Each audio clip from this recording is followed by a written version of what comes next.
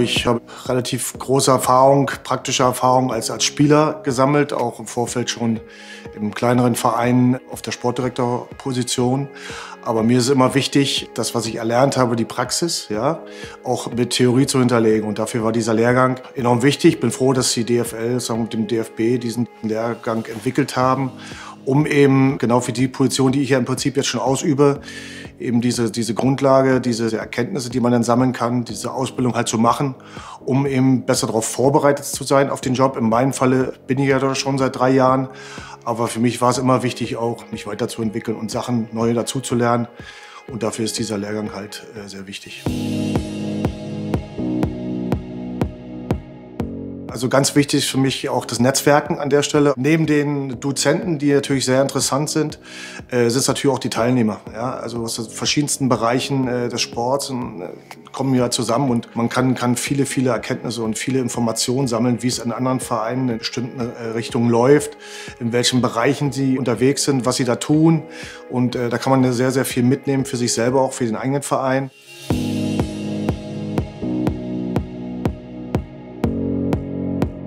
Dadurch, dass er natürlich äh, selbst Spieler war, sind natürlich die, die, die fußballspezifischen Inhalte sind für mich sehr, sehr interessant. Also wenn es um Fußballlehre geht, Spielanalyse, das sind so Sachen, die, äh, die interessieren mich natürlich sehr, weil ich da, äh, glaube ich, auch durch, durch meine Praxiserfahrung auch ein Stück weit mehr mitreden kann als Ligastrukturen und äh, Finanzmanagement vielleicht und äh, Lizenzierung sind auch Punkte, die noch dabei sind. Aber auch diese Punkte sind hochinteressant, da einfach mal genau kennenzulernen, was dahinter steckt, was, wie man was macht, was die, was die Aufgabengebiete da der einzelnen Leute sind, die da ähm, dahinter stehen, um das, um das zu vermitteln.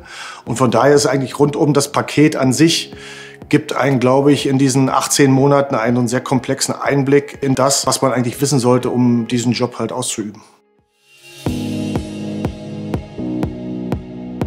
Wie man sich selber wahrnimmt, wie andere einen wahrnehmen, wie man auf sie wirkt, wenn man bestimmte Dinge sagt. Es ist sehr interessant, was das für Effekte haben kann oder was es auslöst.